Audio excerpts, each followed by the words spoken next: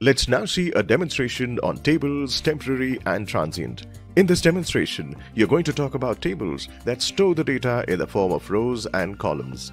Permanent tables are created in the database which are persisted and they remain in the memory till the time you're not dropping them. Similarly to those relational databases, tables Snowflake supports creating temporary tables which can hold the non-permanent data. Many times, you just need the data for the current session, and that is the reason why you work with the temporary tables other than the temporary tables. Snowflake also provides the transient tables which will persist until explicitly it is dropped and will be available to all the users with the appropriate privileges. These tables are called transient tables, will be designed for transitory data that needs to be maintained beyond the current session. Now let us see how you can work on creating the temporary and the transient tables and how it can be mapped with the permanent tables. Now you can just create one more new worksheet and name this worksheet as tables.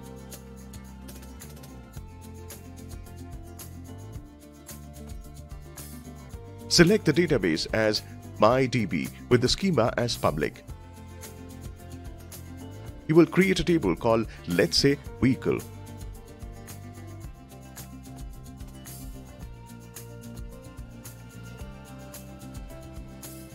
For the table vehicle, you can go for maybe a registration number. Let's say it is of the type string. It can be alphanumeric. Other than this, you can take the category and it may be an integer, maybe 1 for the two-wheeler, 2 for the three-wheeler, 4 for the four-wheeler, and so on and so forth. Let's run this query. The table vehicle has been successfully created. Let's say show the tables. And here you are with one more table added by the name of the vehicle. First, you're going to work with something known as temporary tables. A temporary table in Snowflake is visible only within the current session. Temporary tables will only exist within the session in which it is created and it is going to persist only for the remainder of the session. The moment session ends, the system will automatically purge the data stored in a temporary table and you cannot recover the data from the temporary table. Now let us see how you can come up and create a temporary table. If you have the table called vehicle, if you execute this command called select star from a vehicle and run this query,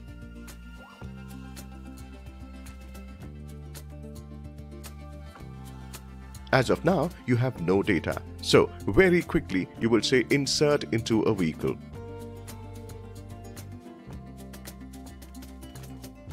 Let's say the registration number goes like PB10AL2937 the type is 2. So two-wheeler and you will just come here and insert maybe some 4 records.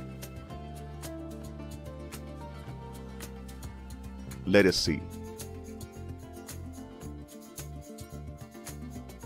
So the category is 1. 1 means car or 2 means bike. You can consider it anywhere around some of the vehicle registration numbers. You can just put across.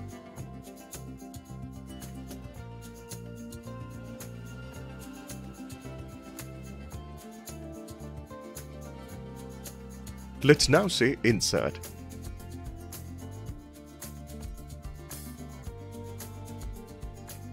And now you can say select all from the vehicle. Here you are with a table called permanent table vehicle. Data is going to be available permanently. Now you can come up and create one of the temporary tables. Then say create and you will just use these temporary tables as the keyword. Here you would say the table as you will notice, you're going to create a table, a temporary table, which is exactly the same as my permanent table.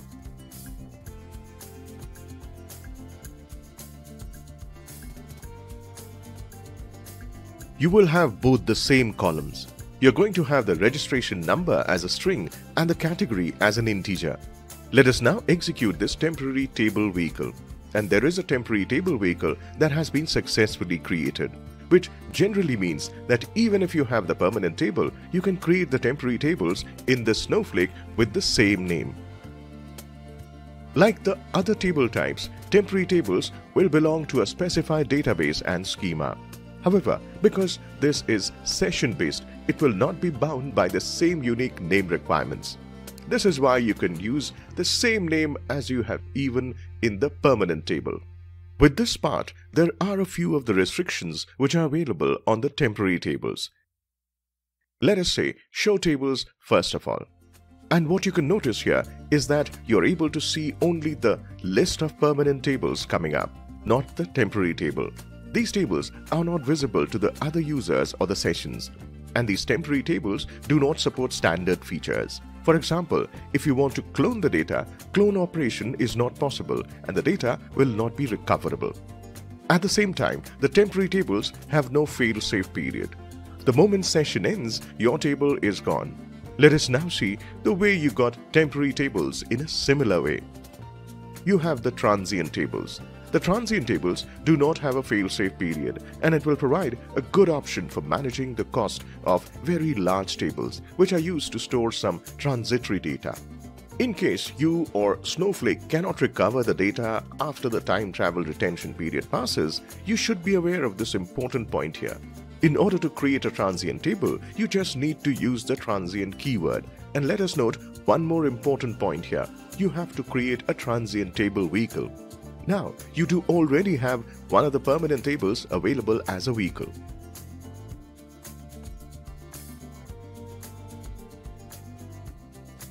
Other than the temporary, if you try to work with the transient, it is going to give you an error, which typically means that you cannot create the transient tables with the same name as a temporary table.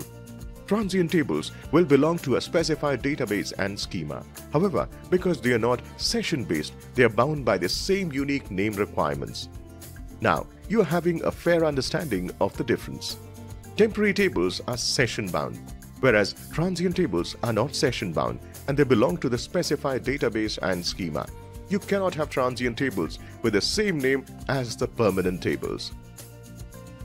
Let us try to come up and create a transient table. Let us say vehicle underscore transient and run this query.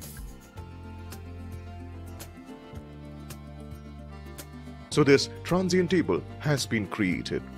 Let us say show tables. Now the transient table is visible. As you can see, the type is coming as transient and you even have now the vehicle coming as temporary. One vehicle is the permanent table. Another one is temporary. And the third one coming up here is the transient table. There are a few restrictions that are once again available on the transient table as well. You cannot create the transient table with the same name as that of a permanent table, which you have always seen at the same time. The transient table, just like the temporary table, will not support the feature known as cloning. The data in the transient table cannot be recovered after the time travel retention period has passed, which means that the transient tables have no fail-safe period as well. There is one more thing that the transient tables that is supposed to be dropped explicitly by the user whenever you're trying to finish off the session. The permanent table and how you can have temporary and the transient tables created, just the two keywords temporary and the transient. The other operations you can perform in the same way. Of course, in the end, these two tables are nothing but it is a kind of temporary support. If you want to copy some data or maybe use the table in between the sessions, you can come across it. With this, we conclude the demonstration on tables, temporary and transient. For more details check the link in the description. Learn with Whizlabs. Success certified.